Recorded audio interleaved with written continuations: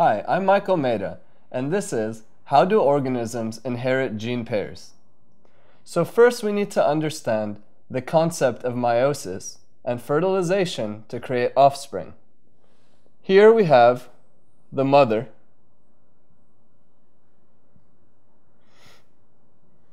and here we have the father.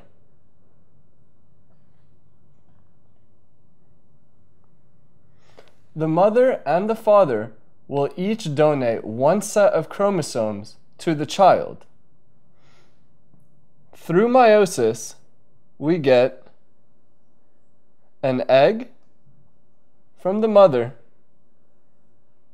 and a sperm from the father. The egg and the sperm each contain one set of chromosomes. These chromosomes are what contain the genes. So if we're getting one set from the mother and one set from the father, then we are inheriting a gene pair from the mother and the father together. The eggs and the sperm combine using fertilization.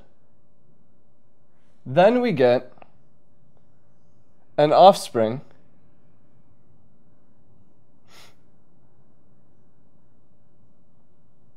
who, just like the mother and father, has two sets of chromosomes, each with genes. So now the offspring has inherited gene pairs from the mother and the father. I'm Michael Maidaa, and this has been How Do Organisms Inherit Gene Pairs?